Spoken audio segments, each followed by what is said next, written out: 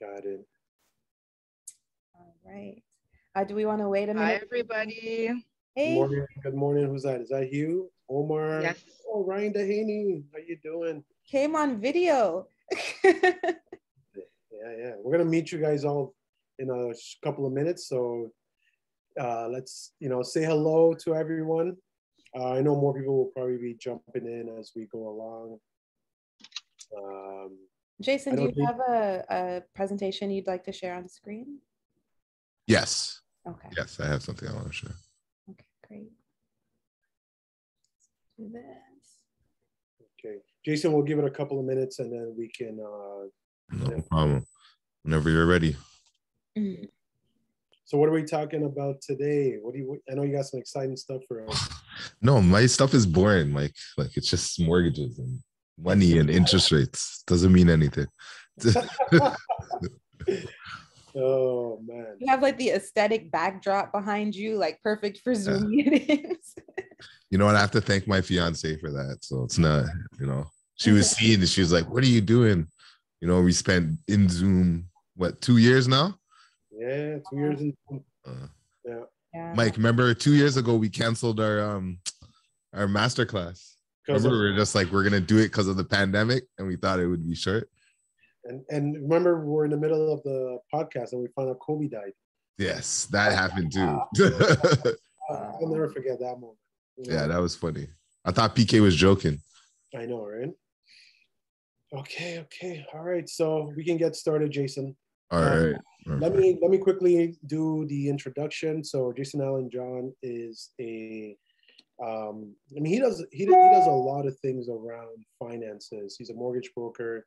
He's opening up a fund. He's a builder as well. Um, I've been working with him. He's an investor. Been working with him for uh, a few years now. Yeah, we've, we've, we've worked together for a few years, done a few deals together. Um, got a few more deals in the pipeline as well. He's one of my, you know, my uh, board of directors when it comes to the business of real estate. I trust him a lot. He, I, lo- I love his insight in the market, uh, and he keeps it very real, and he's very experienced. So, Jason, looking forward to what you have to share. I'm going to put myself on mute and off video, and then I'll come back after. Okay. Thank you, Mike, for that introduction. It's really nice of you. Appreciate it. Thank you, everybody. Um, so I don't um, I'll just tell you guys a little bit about myself and I'll put up my presentation. Um, so you guys have that. One second.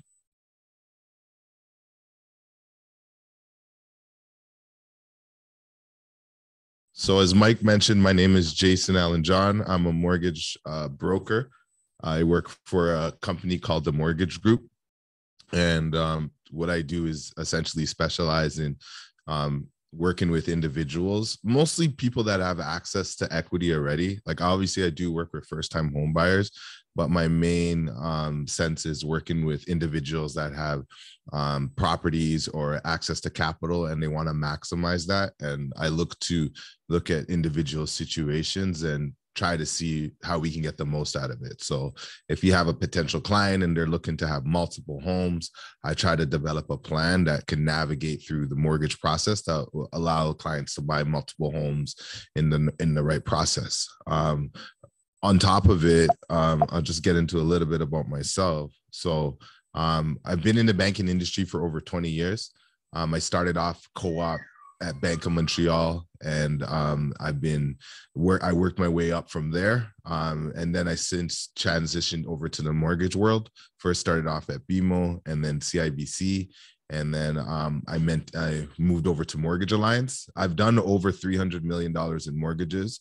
Um, and you know, my passion is helping customers build equity, as I said, empowering the miss and middle community.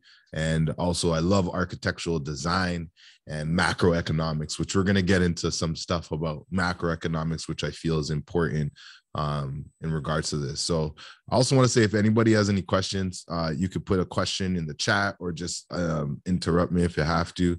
Um, I have no problem with that. And if I guys don't understand anything I'm saying and you want me to repeat it, let me know. Um, sometimes I get a little bit excited and passionate, so I get excited about this stuff. So, all right, so let's get into it. So, yesterday the big news everybody was like bank of canada raised rates interest rate hikes um, we hiked rates from 0.25% uh, to 0.5% um, this rate hike everybody knew it was kind of coming um, it was no shock um, as you know uh, as you're seeing from the grocery stores and even in the prices of real estate and stuff, inflation is um, really hitting us. So a way to combat inflation is a tool that Bank of Canada uses is by increasing um, rates. And the reason why they will increase rates is to, um, in some ways, offset demand because if rates increase, people will make uh, different decisions when they make uh, purchasing decisions, such as buying a home or maybe purchasing a car. So, one way to either stimulate the economy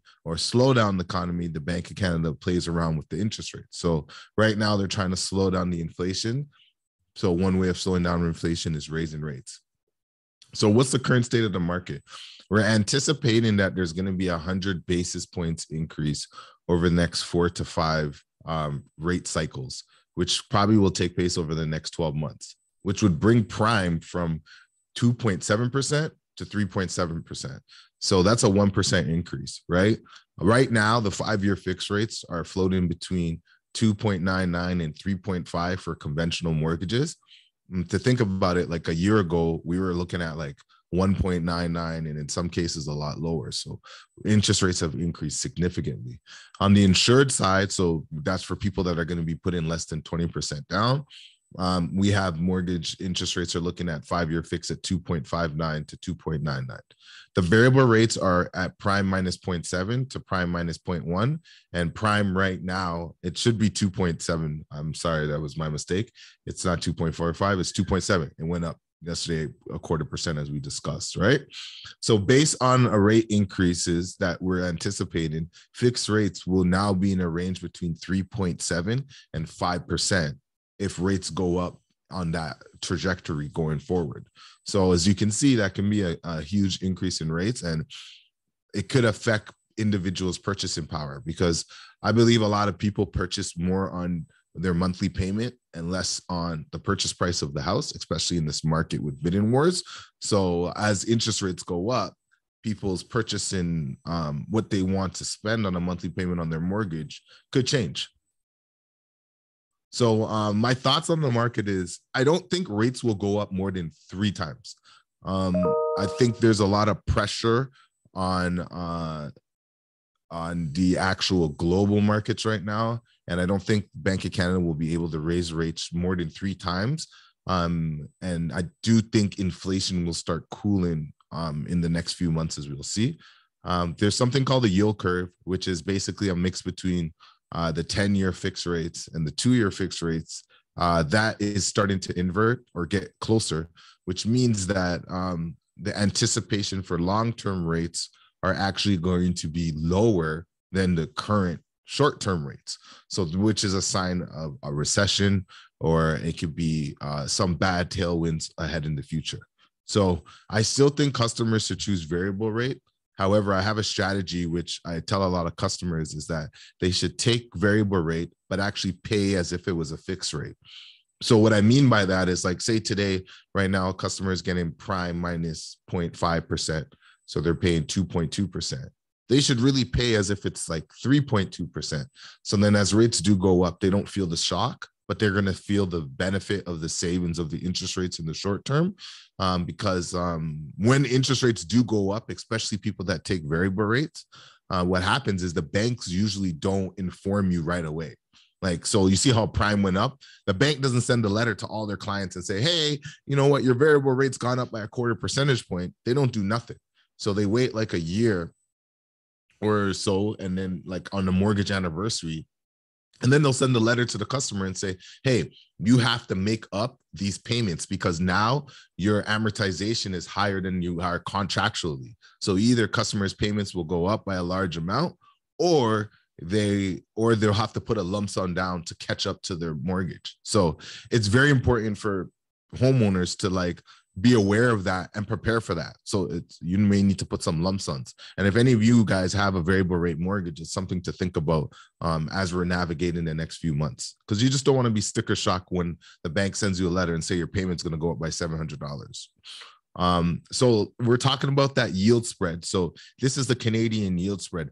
And I took a chart that is basically um it's the max chart, so it's almost about 22 years. And you can see anytime that if you remember, so 2001 recession, uh, dot com era, 2008, as you know, the financial crisis in the US and over here.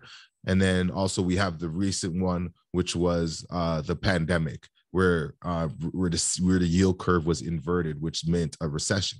And it looks as if we're on the way down. So we're not there yet. Things can change at any moment. But based on this, it's it's like if you could see, it looks like we're going to possibly go into more difficult time periods, which will restrict Bank of Canada's ability to raise rates, um, which will, in my my opinion, will continue to fuel the housing market because it will keep mortgage payments low. So uh, sorry, I went backwards. And then also, this is I wanted to show you guys. This is the U.S. Uh, 10 to 2 yields uh, treasury yield spread and it's very important that we pay attention to what's going on to us because unfortunately canada we're not a very big market so a lot of those things that go on like for example the last time bank of canada met everybody thought they were going to raise rates but they didn't and the reason why they didn't raise rates because the states wasn't ready to raise rates. And it's also the banks, the Federal Reserves and the Bank of Canada is in constant communication. So they usually move in step, right? So as you can see, it's the same thing going on in the states. It's fallen sharply and it's getting very low. So it could be a signs of recession in the future. Right. So my thing for uh, all of our customers right now is that we have to pay attention to a couple of things. Like it's important to review a client situation. Um, right now, a lot of people have increased equity values. Um, so people could do a lot of things. Like, you know, I have a lot of clients that are in uh, insured mortgage where it's like 25 year amortization. We've refinanced them to 30 years so they could get breaks on their payments. That's a good thing. A lot of customers are tapping into refinancing to stay liquid, um, to be an advance of any sort of moods.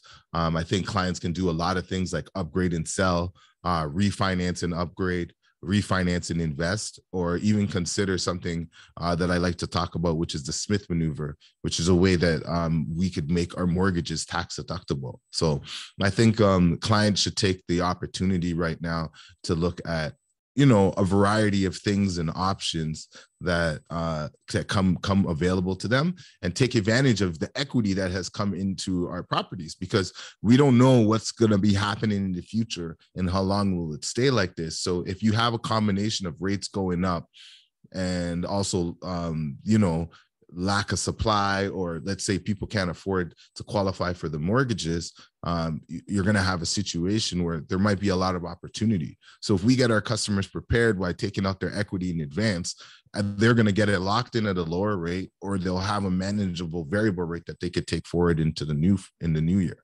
Now a couple of other things that i want to talk about that is probably going to also happen potentially in the future. Um, i can't see the variable rates discounts going away. So they've had that before. So right now, clients can get either like a fixed rate right now, like I said, of 2.99, or they could get a variable rate like prime minus 0.7, right? What's going to happen as this period of rate compression happens? The banks are going to remove that discount on that variable rate. So you're going to see that instead of seeing prime minus 0.7, you're going to see prime or prime plus 0.5 or prime plus 0.1 you're going to start seeing those rates start popping up. So what they're going to do is they're going to they're going to decrease the discount on the variable rate and then also increase the fixed rates. So even if bank of canada doesn't raise rates there's a possibility that rates can still go up in a sense.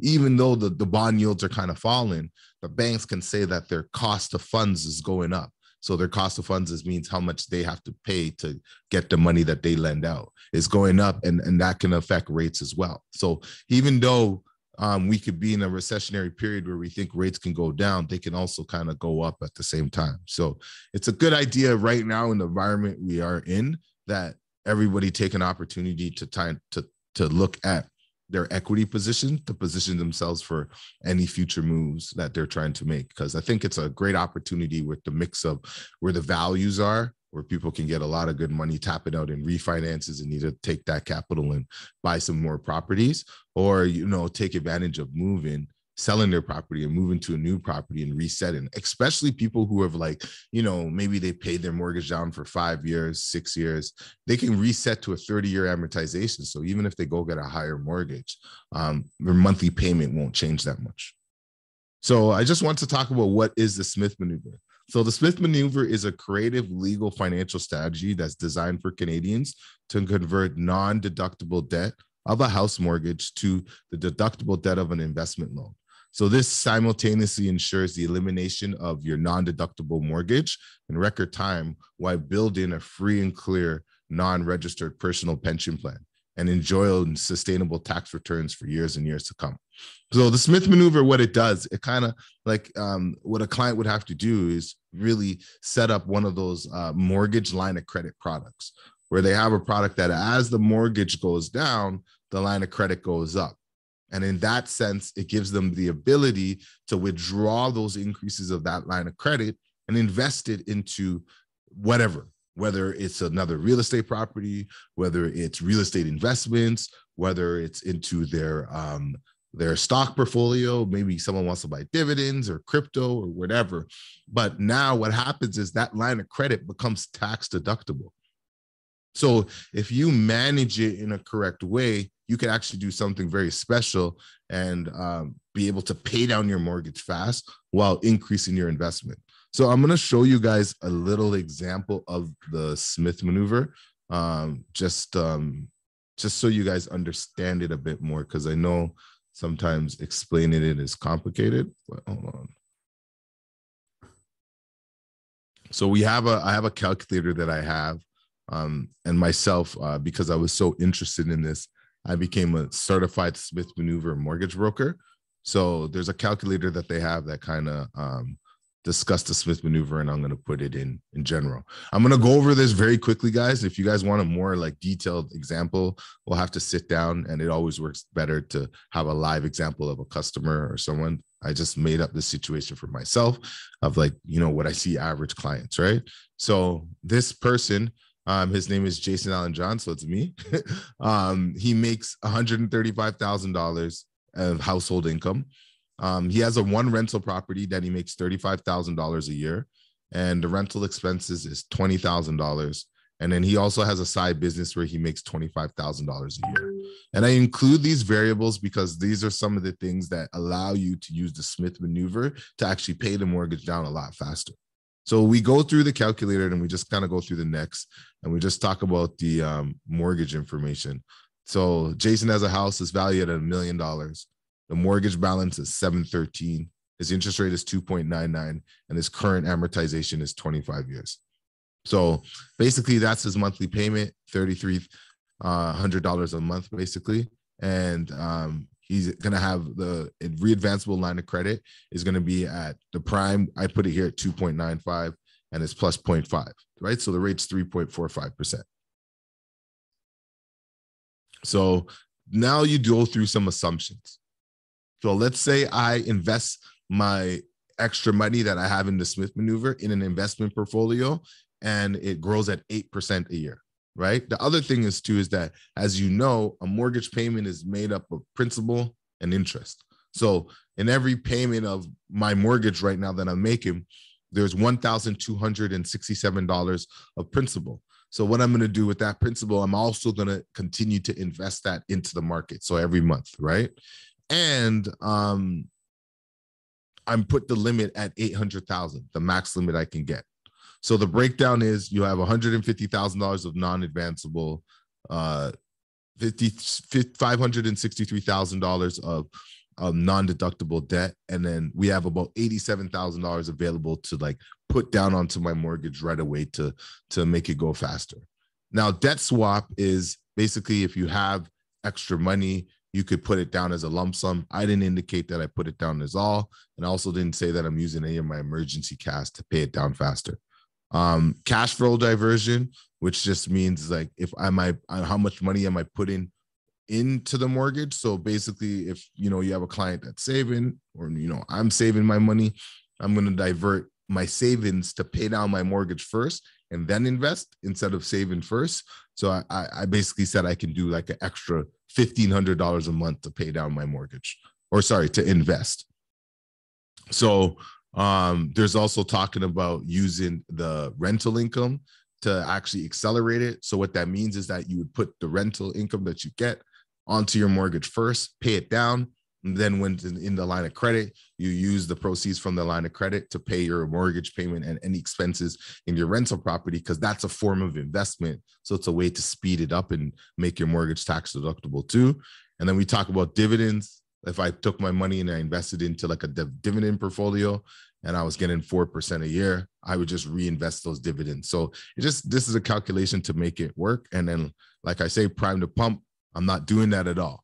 So long story short, I know that was very winded, but if we if I do it, then I get a tax improvement of savings about 232,000. I could pay my my mortgage off in in 19 years.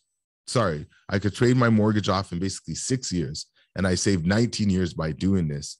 My net worth has improved by 5.9 million because what that means is that we're, we're, we're hoping that that investment fund that I invested in, I'm getting 8%, uh, is growing over the 25 years that I what I would have. So the net value of the Smith maneuver to me is like 4.6 million, right? So, and then this kind of just shows a number like, you know, the income that you would need to pay off your mortgage without the Smith maneuver, which is 1.8 million. So that kind of just gives like a little example. And I could just show you guys kind of in a graph how that looks. So you could see the red is kind of the investment portfolio. You know, you have a you have a loan that kind of stays stagnant that doesn't really ever move. And then this is your um your mortgage that just kind of disappears. And then now you do have debt. So this is not something where you know you're just getting rid of your debt. You're still going to have debt. But what that debt is, it's now tax deductible. So now this is good debt. So um, I see a question here. So which banks? Yeah. So Scotia Step is a good one. Any bank that has a mortgage line of credit. So every Schedule One bank has one. B2B also has it too. Um, but um, this is mostly like me personally. Most of my clients, I put them into Scotia Step to do it because Scotia Step is really good and it's convenient. Um, yeah. So I'm just gonna. I think I have one more page in my presentation that's just like a finalization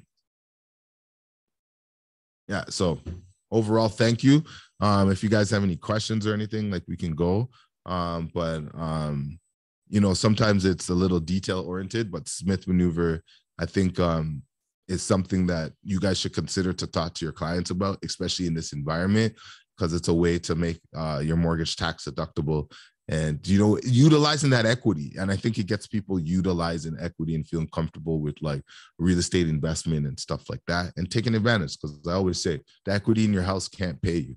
You know the only way you can get value off of it is if you borrow from it or you sell your home. So we we we should get have our have people take advantage of their equity you know, while it's available, and especially if they don't want to move, because you know, like if you don't take advantage of it, prices could fall, and then you won't be able to take out as much you could before, and then maybe at that time you're going to take care of advantage of opportunities, or like as we're seeing, interest rates are going up, so the payments could go much higher. So now's the time that people should be tapping into what they have available to try to get into the market as the interest rates stay where it is. So that's my presentation. If you guys have any questions, Please let me know. Thank you, Jason. Uh, do you have any questions? I think Ryan Dehaney. Ryan, do you yeah, yeah, definitely. Sorry, I'm at Starbucks. It's a little noisy. Um, but I, I have a question. So I have potential clients who mm-hmm. do have equity. Uh, they're not very, they're not savvy in terms of investment. So yeah. they're going to be looking to me definitely to, to, to lead them. Um, when I first, I guess this, the question is kind of both you and Mike. So first of all, how do I, how do I begin to talk about um, breaking the mortgage versus the renewal? Mm-hmm. Um, and also, do we go? Is it is it good to go HELOC or refinance? Okay, so two things I would say on that. One, I would say right now, in most cases, it's better for customer to go um, refinance over HELOC because if they do take the money and they're going to be purchasing like another property or a rental property, it's sometimes easier for us to qualify them when they have a mortgage because HELOCs, um, HELOCs uh, are are actually like their payments the way we do it on the back end. We have to stress test them. So it makes it harder to qualify for the mortgage on the stress test amount compared to if it's like an actual dollar amount.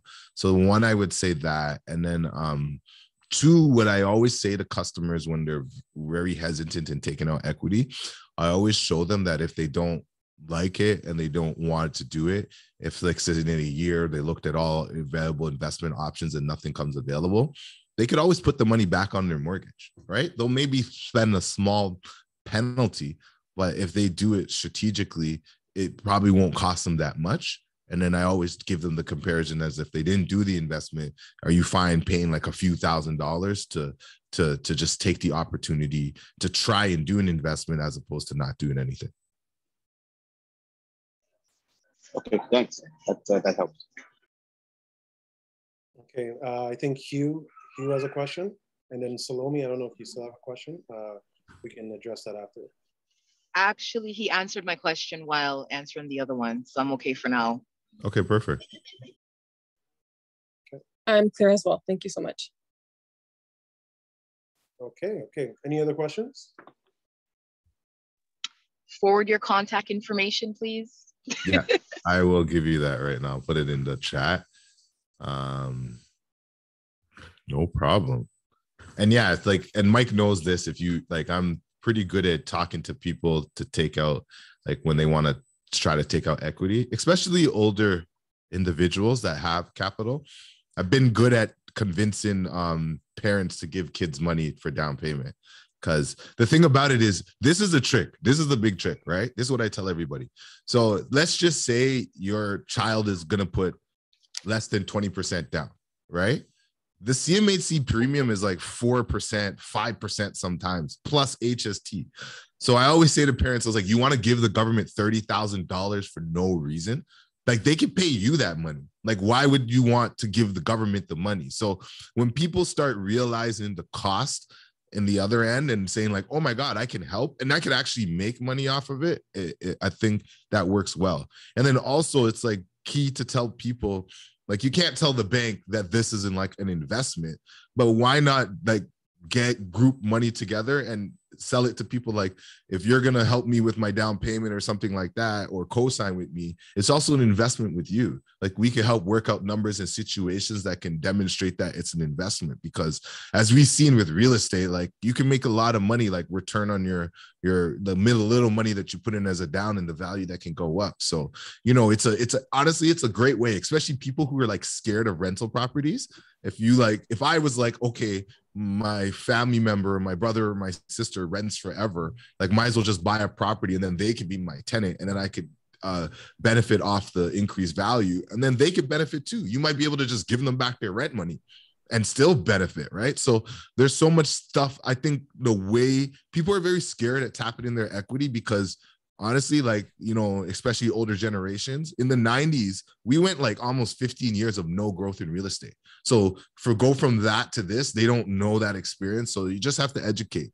And the other thing just another tip that i've been telling people a lot why don't you take that increase that has happened in the last that pandemic bump?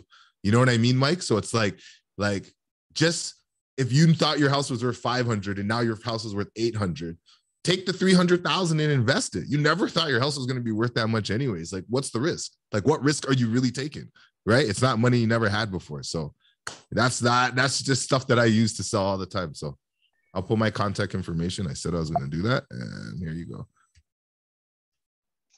Another question. Yeah. So um, I have some clients who want to refinance, mm-hmm. um, but to invest in markets outside the GTA. So I just wanted to get your commentary on lenders and their view on financing properties outside of the, the Golden Bush. To be honest with you, there's a couple great lenders right now. Like even if customers have problems qualifying, that are basically lending money privately in a way with like no money, no income documents and stuff. So I think there's an opportunity outside of the GTA you know, I, I think uh, like you have to bring your money where it's gonna work for you the best. Like I, I like obviously investing in Toronto myself, but we have you have cost restraints with down payment and flexibility. So I think the key in that is if you're gonna do it outside, is just you know property management for the client. But as far as financing, you can get a lot of great financing no matter what. And the thing is, we also as brokers, we work with credit unions too. So sometimes I've done and I've worked with a local credit union to get financing done for a customer in a, like an obscure area that doesn't have a a lot of uh, um, population or something like that. But most of the times, lenders are right now. It's a weird situation. I don't know. It's a great situation. The lenders have a lot of money. There's a lot of money floating around, and people want to lend this money and you know so there's a lot of private money investment money money that people want to do renovation so i think it's just about presenting opportunities and you'll find a home. As long as the customer is willing to pay the price. Sometimes people don't want to pay b lender rates or fees or stuff like that but i think if you could kind of like um combine it into something that is a good package people will respond well. Do, do a lenders well, A lenders lend to both markets. Yeah, honestly, A lenders are sometimes the best. Like I had a deal the other day on um it was in um North Bay, my client, and it was like a weird situation because they bought a house and it had like two pins on it. So um First National, which is not like well, is an A lender, but a quasi A lender, they wouldn't do the deal because they had the two pins. But then I took it to Scotia and Scotia like did it in like 10 days. So sometimes like the A lenders are easier because they can lend anywhere. They have jurisdiction everywhere. Their only concern is is when it's like an obscure like weird area and you don't have all season access. The key for A lending is making sure you have all season access. Otherwise, like you could basically get a loan anywhere as long as customers can qualify. Okay. No, that's great. One other question. Mm-hmm. Um, so I, I have a, a, deal on the table right now, and I'm hearing from uh, mortgage, the person that I deal with now, that some of the lenders are scared when they see a property that is not properly finished. So, you know, sometimes, uh, for example, the one I'm in now, the carpet wasn't there, there's holes in the drywall. Mm-hmm. And I'm hearing stories, and I don't know how true this is, is that that lenders are turning down deals for, you know, something as simple as hole, a hole in the drywall, or you know, missing flooring. Is that kind of, are you seeing any of that stuff right now? Well, that, okay. So the big thing about properties for lenders is it, is it livable? So you don't want a property that even looks like not livable. So what you're telling me is not stuff that is that that doesn't matter. But what I would say to you is this: everybody's deal is different, and sometimes lenders decline stuff has nothing to do with the property and has everything to do with the customer and they don't want to say like it could be multiple stuff right? And they don't want to say the truth. Sometimes like even when i used to work at bmo it'd be a situation where bmo lent too many loans in that area and they're overexposed and they just decline a loan for no reason. And they find a way out. And maybe they looked at the appraisal and it had like a, a rust spot and they're like ah that's our out. We're going to use it. And, and there's nothing you could argue with it about right? So it's very delicate. And this is why it's honestly it's a difficult time to be a mortgage broker because like you know what I mean? Like Mike, we know this, like no conditions, appraisals, waiting, last minute. Like Mike doesn't even want me to go into the last customer we just dealt with, right? And it's like we didn't know. Like literally, we did an appraisal, Mike, what November, and then I did one in February, and the value was like four hundred thousand, three hundred thousand dollars different. And it changed the whole scenario of the customer and what they were doing. So it's like any, it's like it's it's right now it's the wild, wild west. So what's important is does can what can the customer qualify for? Because more than likely, we're not going to get an appraisal before signing off on conditions. You're not going to get an inspection. So you have that's why I was saying early in the presentation that if people need to do refinances or they need to take out equity, let's do it now. Let's not wait till the property is closing and doing it because Mike will tell you it's, it's headache. Sorry, Mike. Thanks. Thanks. Thanks a lot. I guess we might as well bring the team on the on, on the story because uh, yeah. so I had a client and our intention was to sell the property, but I was also nervous because I know Jason is very good in terms of convincing and structuring clients so that they don't sell their properties and they keep the property so they can do more investments. So there was a, a lot of energy put into preparing this listing that never ended up happening. Uh, so that's kind of the inside joke in terms of, you know, this property was appraised at 1.1 million when the, um, the client bought a property and they were looking to refinance from other properties to um, to be able to purchase something else. The refinance came in at 1.1, which didn't make sense for what the client was looking to do. But the closing for the new property that the client bought wasn't for 100 days. So in that time period, the market had appreciated over $300,000, and then it became a no-brainer uh, for the client to keep the existing property and just keep, you know, leveraging and buying more properties. Uh, but it was just the conversation, and that's that's a very important thing. There's a couple of points that Jason touched touched on, uh, which is convincing parents to lend you money. You know, and I'm and I'm so glad that you spoke about it because most of the sales reps here, let's say average age, you know, 35 to 42. Um, so you know, they're now in the category of this is what this is the age bracket of what first time homebuyers now look like today. You know, first time homebuyers are not 19, 21 years old, uh, 25 years old anymore. They're in their mid 30s to late, uh, late 30s, early 40s. And even with that, even with strong incomes, you know, they don't have the down payment necessary to be able to, you know, make the purchase and all, even if their incomes are strong. I mean, I have tenants that when I look at their earn, you know, their earnings, you know, 250,000 household income, and they can't they can't buy in the market not because they don't qualify on the income but they just the, the rate in terms of what they have to save to be able to get in the market even with a strong income is very very challenging so having a conversation with your you know with your peers your associates your friends around why they should have a conversation with yourself and jason allen john or someone in that space that is very seasoned and understands how to pull equity and pull income from different sources is going to get you a lot closer to be able to do what you need to do. So Jason, I'm glad that you that you brought up that point. Um, any any other questions?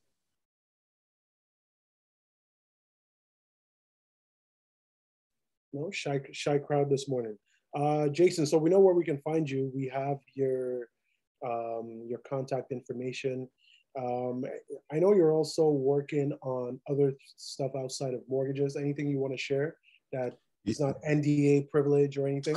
no, you know, I'll, all I would say is that um, um, I'm working on a couple of stuff. Like one, one thing that's kind of cool. Like I'm working at this organization called Partner, um, and what we're trying to do is partner with um, homeowners to help them build like either uh, garden suites, laneway suites, or even um, um, basement rental properties. And essentially partner takes on the responsibility of building construction it and um, financing it and running the property.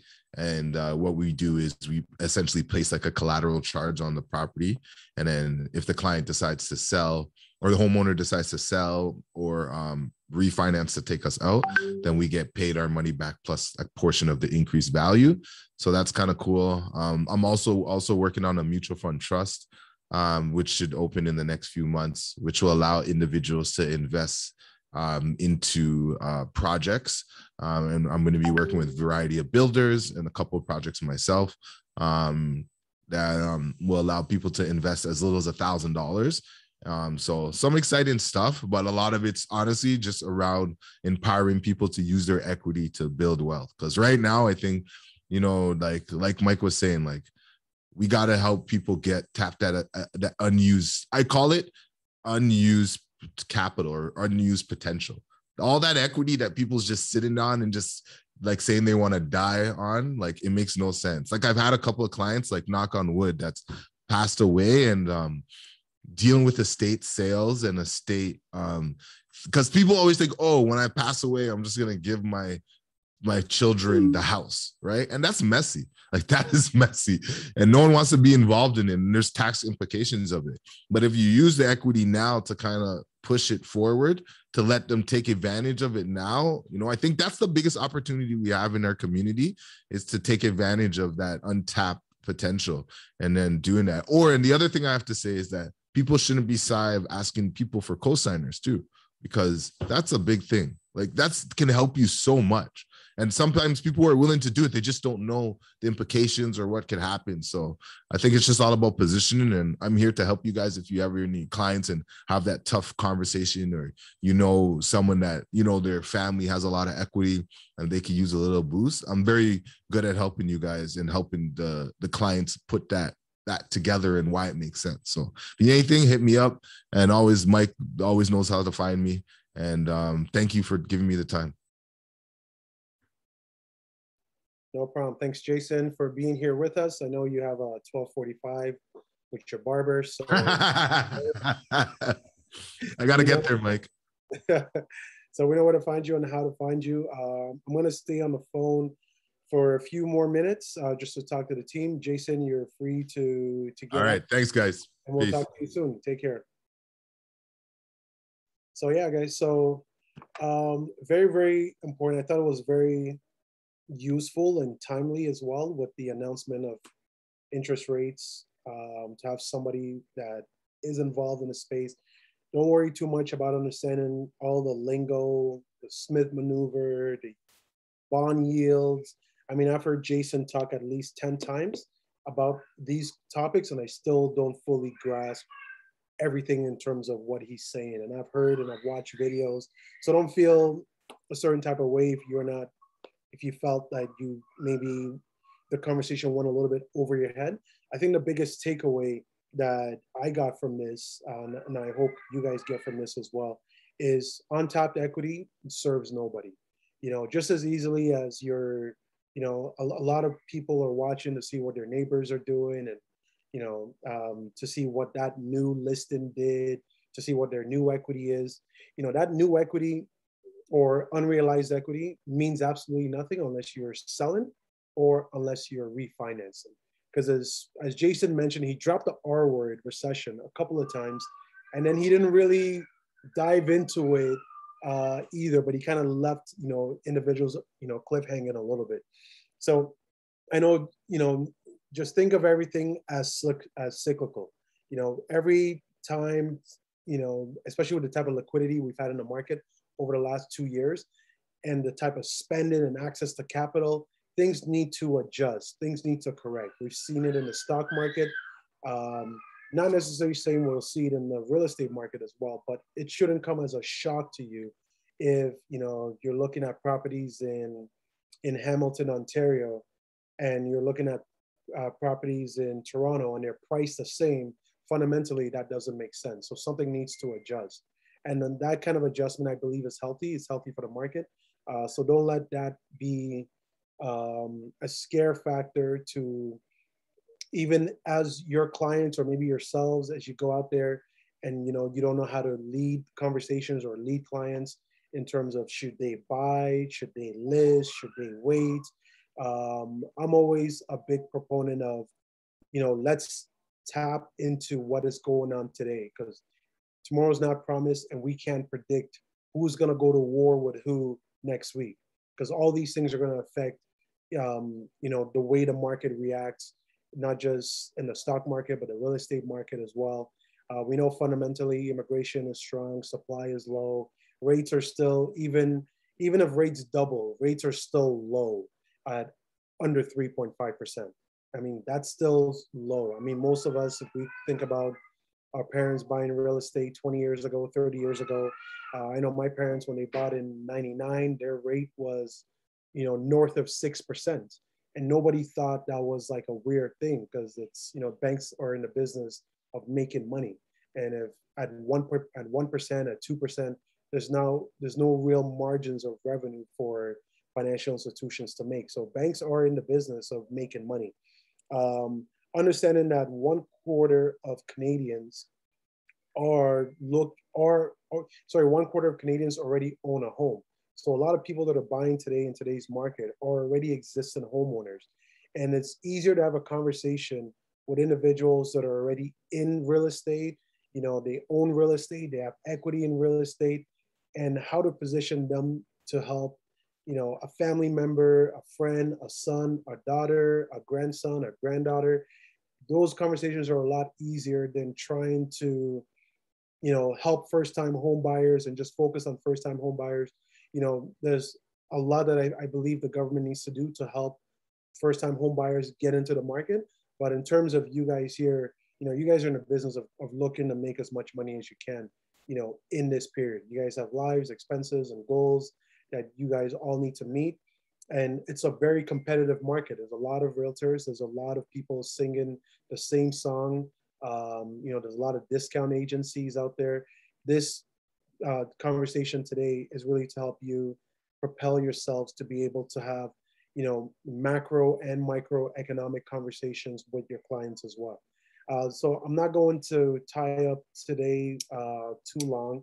What I will say is we are um, I will send out invites again to be able to do one-on-ones. I did a couple, a few one-on-ones with some individuals on this call already. Uh, there's still, you know, a lot of you guys still need to get yourselves active and, you know, get into this market and take advantage of this market. You should be able to predict your businesses every every quarter, every three months. So, you know, we're at the end right now of uh, Q1, and I know that most of my results that have come in in Q1 have been a direct correlation of my activities in Q4 of last year. So all the activities that I did in Q4 of last year, I'm seeing the results of it in Q1 of, of this year and of this quarter. All the activities and the preparation of your businesses and conversation um, that you're having are right now between January and March is going to be directly correlated to the kind of income you make in April, May, and June. If you're not having those conversations in this period, it's it is not going to look good for you next quarter. And as we know, real estate is a very real estate is not a 12 month thing. Um, you know, spring market officially maybe started about a week ago, and we know once October comes, you know, the year is a wrap. Uh, people are start, you know, Thanksgiving, Christmas, and you know they're already planning vacations and trips especially because people have been locked down for two years and so forth so if you think about it your october november december result is going to be directly correlated to what you're doing in in august in july and in september so re- really by the by september all your preparation all your planning all your prospecting you know, all your marketing. It needs to show up by the end of September, and that's going to tell you how much you're going to make for the rest of the year. So the reality is, for a lot of us, we have maybe about six months left to really uh, get to work. You know, start having those conversations with our network. And if you don't know how to build a pipeline, you know, reach out to me, and I will help you in terms of how to build a pipeline, how to manage a pipeline, um, how to use the tools on your MLS to help you manage that as well because the, the year is not as long as you may think. Um, spring is already here. People are thinking about traveling and going out. These are all distractions that are going to affect your bottom line. So book the one-on-ones and let's put a game plan together. Uh, let's help you guys get to, you know, becoming, you know, cap agents, which is, you know, making $150,000 plus, which doesn't do anything for the brokerage. That just, that's almost like kind of like your new baseline standard of living if you want to stay in the city in terms of a household income and have you know um, in, and have like a lifestyle. I mean, we we just saw gas prices about to hit a hundred or dollar seventy cents per liter, and that's you know groceries are up. So cost of living is is not staying stagnant. So we need to be aggressive in terms of, you know, um, be and be aggressive and be intentional in terms of what we're looking to do and what we're looking to accomplish. So uh, poor, uh, what's that, what's that saying? Proper planning, performance, I can't remember. Uh, once, once I remember, I'll, I'll drop the, uh, the line, but a friend of mine has a really good saying um, in terms of how to measure your results and how to measure your performance. Uh, but yeah, but let's connect. This meeting next month in April will be in person. Uh, the location will be 6171 Conan, uh, which is the event space Dream Suites located in Mississauga. So we will send out details for that um, as we lead up to that time period. So this next team event that we'll have will be in person. Um, it'll be great to kind of see all the new agents, talk to everybody, meet everybody, um, and you know, just kind of get together, get into the space of sharing and, and collaborating as well. Uh, if anybody has any questions, I'll give you guys the last 10 minutes or so. Uh, Natasha, I don't know if you have anything you want to report or share in terms of what's going on on the admin side. You know, I know taxes is a big thing for a lot of people, T4s and T4As, maybe where we are with that. So I'll give about a few minutes for questions, and then Natasha, you can come back and and you can let us know if there's anything we need to connect with you about in terms of the tax portion of things. We did great this year with the taxes, so I'm really happy about that. um, there hasn't been any complaints, but again, if there, you know, if you haven't had a chance to review it, um, take again a look at your tax worksheet that we mailed out a few weeks ago. If you'd like me to resend, I can do that um, and just verify your numbers. But otherwise, that's been great. Shubham did a great job over this last year with inputting deals and making sure everything was correct. So we did well. Um, also, what's sort of been coming up is Broker Bay. A few of you have had listings, um, but are not familiar with how to update showings and stuff like that on Broker Bay. So please, if you do have a listing coming up, you know it's gonna you want to bring it out next week or um, even just give me like a one to two day heads up, then I can organize and get on a call with you and help you list that on MLS, help you set up your showing instructions in Broker Bay um, just so that you you know hit the ground running with with your first listing. That's all i got. Congratulations to paul. Paul did his first real estate deal last week. Uh, was an assignment cell, challenging uh, but he you know but he he got the paperwork done and he's still learning and he's holding the, the hand there's a lot of hand holding through the process of assignments. So congratulations to paul. That was just top of mind um, in that regard. Uh, the last thing that I want to mention, because a couple of people brought this up to me, uh, some of you should maybe start considering, uh, because we are talking about taxes, setting up your personal real estate corporations. So mm-hmm. your so your PRECs, your your PRECs, which is a professional corporation that your hard working um, OREA, CREA, and TRREB fees went to lobby the Ontario government so that that way we can have that in position. If some of you want to learn a little bit more about what that means, what it means for you and your business, uh, we can discuss that as well when we book the one-on-ones. Because for 80% of you, it probably does not make sense. Uh, but but uh, for about 20% of you, probably does make sense to set up those personal real estate corps. Uh, there's more accounting and more filing and more bookkeeping that's associated with it. So that's why it might not make sense um, for for everybody on this on this call. So that was that was the question I was going to ask. What, what's the income level at which it makes sense? Um, there's no income level per se. Really, it's an individual to individual basis. Uh, depends on your expenses, write-offs. Do you have employees? Um, it could make sense at fifty thousand, uh, but for most people, it probably doesn't make sense up to uh, to about 150,000. Yeah, 150, I'd say About 150 starts to make sense. Yeah. Uh, but also because it's a corporation, you might have other incomes that you're drawn from other sources, maybe you know other side businesses and so forth. So you can group those that income with your real estate income to kind of just have everything kind of filed under under one place. But yeah, I think 150,000 is probably where it starts to make a little bit more sense. Uh, because right now, as salespeople and brokers, you can already write off a lot of your expenses. So it really depends what that expense chart looks like on, in your household and with, and with, and with your business. And this does not qualify as tax advice disclaimer as well. you know, it's important to just make a note of that. But yeah, we can talk one-on-one more in an individual scenario to kind of see when and where this could make sense or could start to make sense for you as well. Okay so that's it. Uh, thank you all for being here on this call. Uh, let's go out and let's work. Thank you. Thank you, Mike.